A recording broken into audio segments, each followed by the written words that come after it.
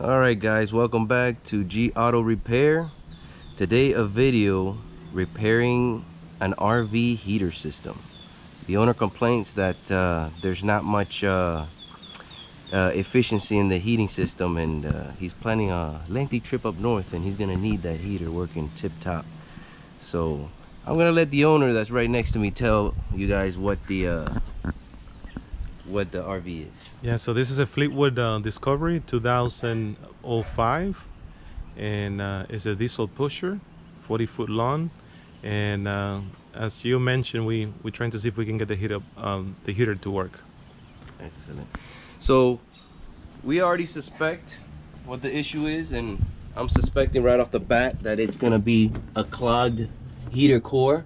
These are the lines going into the heater core. Now we have pre-warmed it up just to verify a couple things. And uh, if you touch these hoses here, they're warm. So that tells me we're getting hot coolant to the heater core. However, when you turn on the heater, you really get nothing. Really cool air, very, eh, maybe slightly warm, but not not working well at all. So what we're gonna do is we're gonna take out these two lines. We're gonna introduce these plastic lines, and all we're gonna do is just flush it out. Now this is kind of a hit or miss, depending on how bad it is. The best way to fix this is to replace the heater core itself. However, in an RV, you can imagine the extent of the repair. So uh, even with auto automobiles, this happens from time to time and you know, it's not uncommon to have to flush it out. You get better performance, maybe even fix the problem. So we're gonna try it out, see what happens. And hopefully this fixes uh, the customer's problem. So the first thing we're gonna do is we're going to pinch off these hoses with these pinch tools and that's just to prevent excessive cooling from leaking out so we're gonna go ahead and do that now we're gonna remove these two clamps and these should pop right on out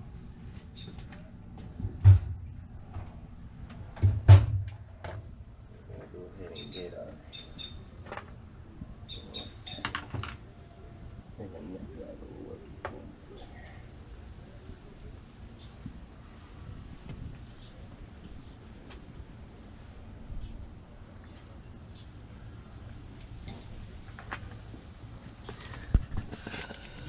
Should be an 8 millimeter, I believe.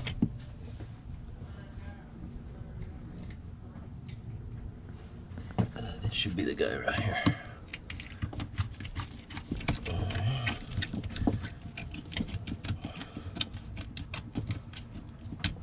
So there we loosen that.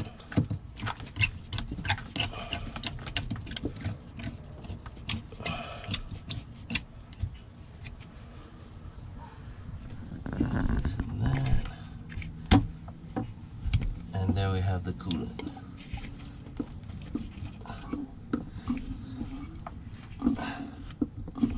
Sometimes they stick.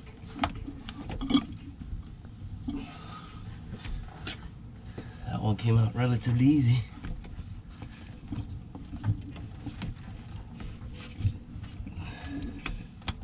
There we go.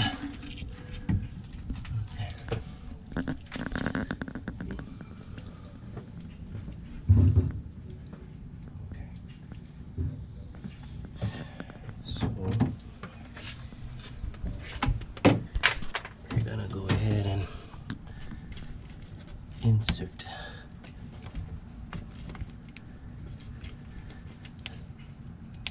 in there.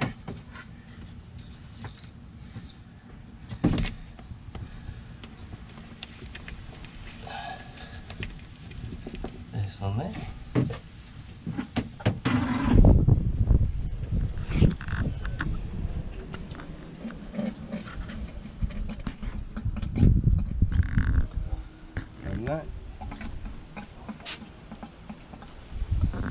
I'm not feeling much resistance. Now we're gonna get the water hose. Well, we're back. We got our hose ready. I did put this attachment Uh, all it is is just a little conical spigot so I can jam it in here. You could pick this up under a dollar at Walmart. It's not very expensive. So you got your regular hose, the water is on, and all we're gonna do is just gonna flow and flush out any any uh, crud that may be in there. So we can see the, and there it goes.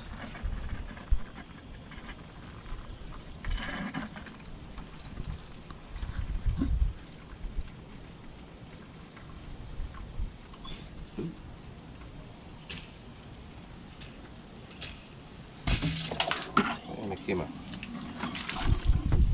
But it flew pretty pretty clean.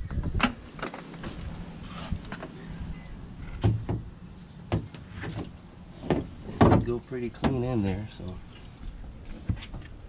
we're gonna go directly here to the Oh, there it goes. Yeah, I did see a little bit of crud in there. Yeah. Yeah, I did see a little bit there. Not much. You could actually see it flowing. I don't know if you guys can see that. See small little particles flowing out. Look at that. That's a big one right there.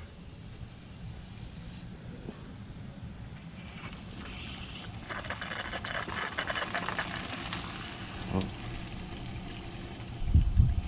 Okay.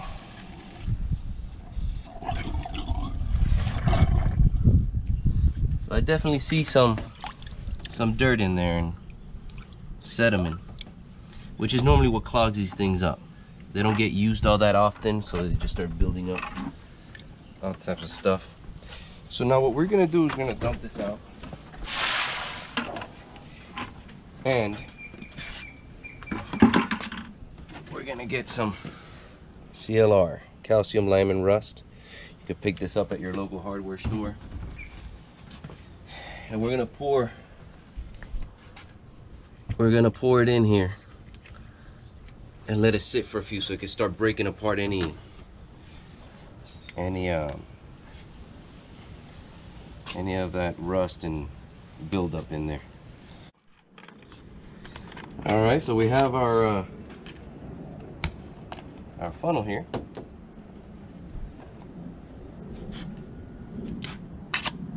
Break the seal.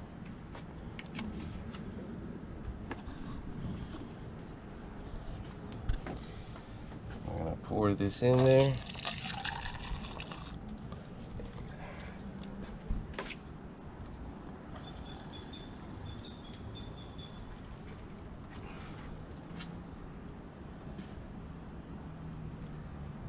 kind of let it flow in there.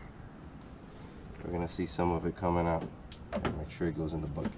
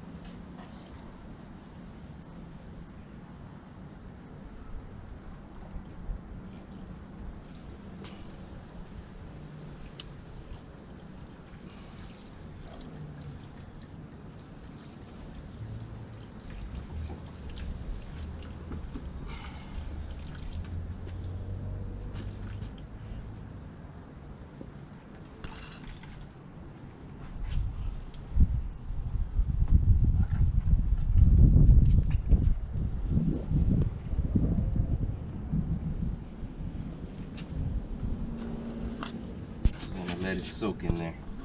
So we're gonna let, the, let this sit for about five, ten minutes, and we're gonna flush it out. Maybe we're gonna repeat this process two, three times, maybe depending on how much stuff comes out of it, and uh, and then we'll flush it out completely and plug everything back on. So give us a few minutes, and we'll be right back with you. Well, we're back. It's been sitting here for several minutes. We're gonna go ahead and uh, I did put this little clamp here to kind of hold all the all the the cleaning uh, chemical in there. So what I'm gonna do is I'm just gonna go ahead and push all this through with a, regular garden hose, flush it out, and we're gonna see what comes out of it. Go ahead and get this. Bring it up here. Watch out down there. Boom. There we go.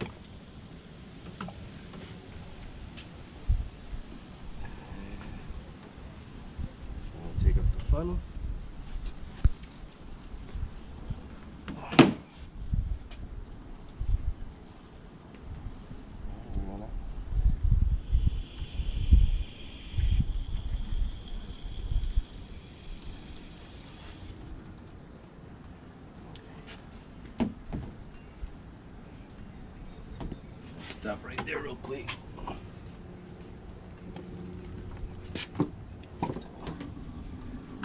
Want to direct right here.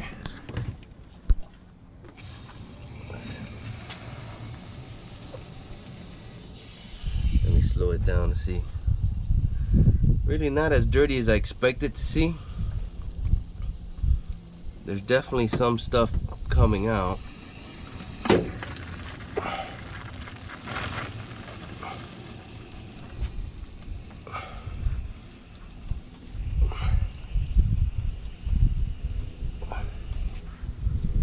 but not as dirty as I would have expected it to, to be.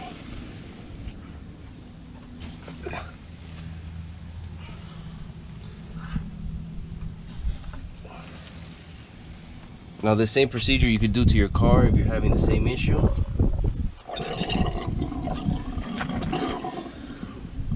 Whatever it is, you could do it. Now what I'm gonna do is I'm just gonna swap this out and do a reverse flush. Change the direction.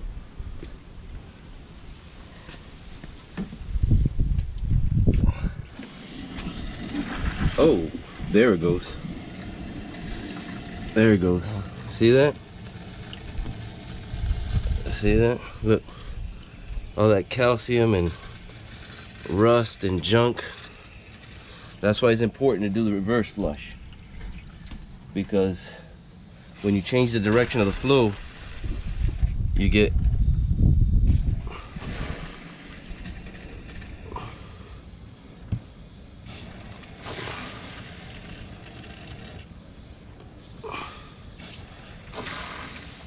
Look at that. See? All that affects the flow in the heater core and therefore it, you can't you can't flow enough uh, hot coolant in there to keep it to keep it uh to keep it hot and that's why you get poor performance so I'm just gonna go ahead and dump this over there Alright, this is just to show you guys what came out of the heater core. See how those part of this was a clean bucket. See that sediment down in the bottom? That's what clogs it up. So now what I'm gonna do is I'm gonna put some more some more cleaning juice in there and do the reverse flush one more time. We're gonna see what else comes out of it. We'll be back soon. All right, we're back. Been sitting here for several minutes, working its magic. So we're gonna do the same uh, operation here. We're gonna get this. Gonna take off this clamp here. Been letting it soak for a few. I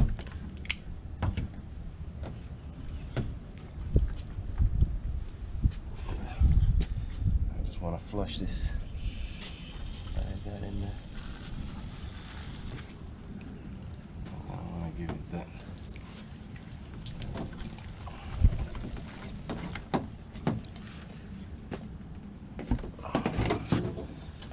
Direct pressure in here.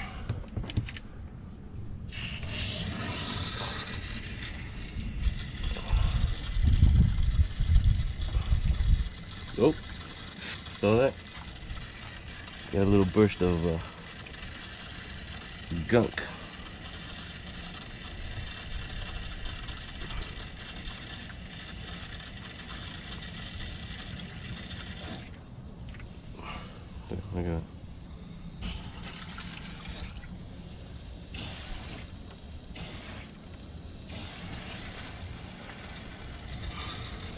Just giving it some bursts of pressure to loosen anything up in there.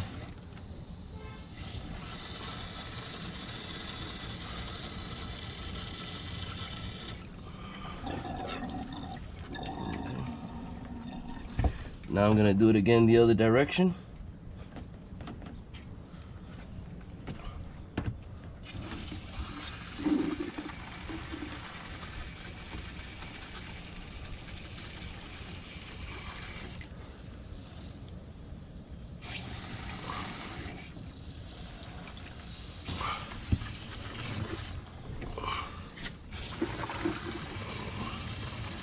So another, another little burst there of uh, dirty water coming out.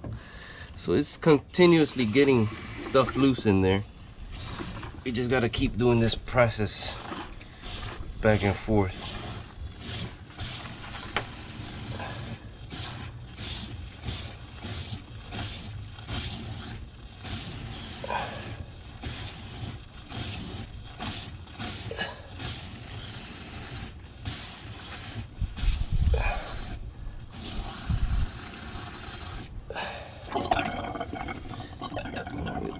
Do it the other way again.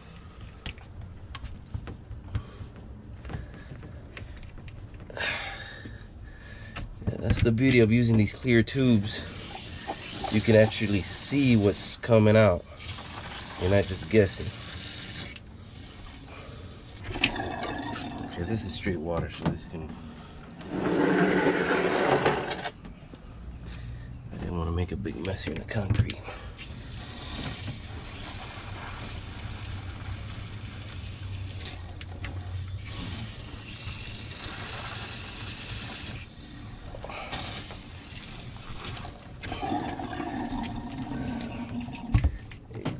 do it the other way again.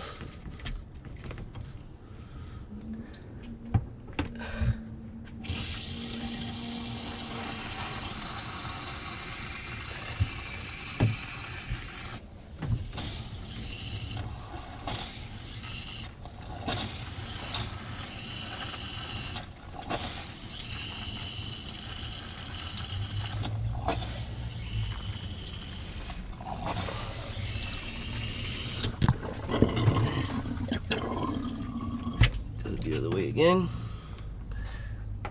And this will probably be the last time we do it.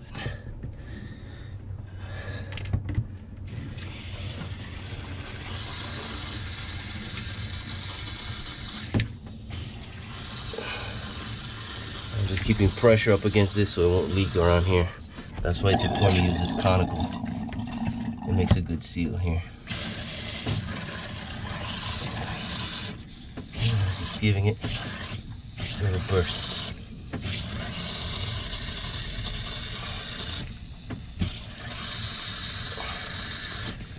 All right. And that's it. I'm gonna go ahead and put everything back together now. Okay. Here. And here we're gonna crank this bad boy up and see how it works. Hopefully we've seen some kind of improvement. Like I said earlier, sometimes results may, may vary depending on how bad this is inside. Driver here.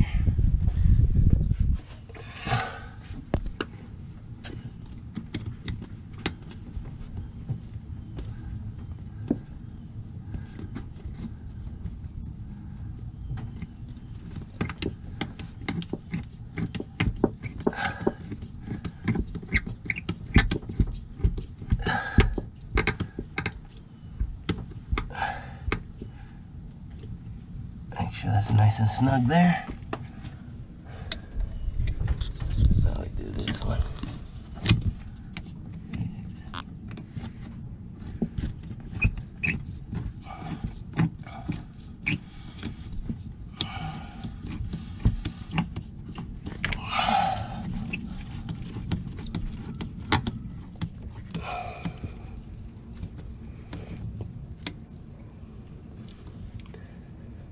All right, open this up.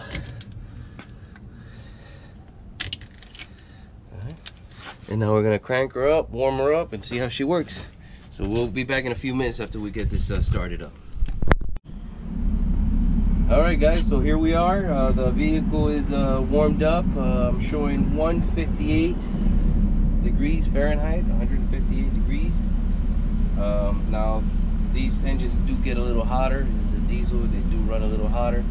Uh, 159 now, and uh, we can right off the bat tell there is a difference in the performance of the heater. I'm getting 122 at the vents, and uh, before There we go. Let's get it there. Oh no, it would drop a little bit, but before we weren't getting nothing.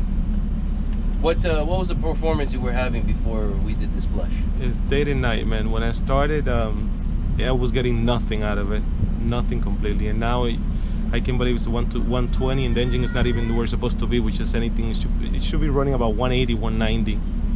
Um, so I know for a fact that once I get to 180, 190, this the temperature here is gonna go probably the 130, 135 for the heater. That should be enough. Amazing changes. So how long was the engine running the first time you tried this that you noticed your AC wasn't or your heater wasn't working? I did it in the house for half an hour, nothing happened.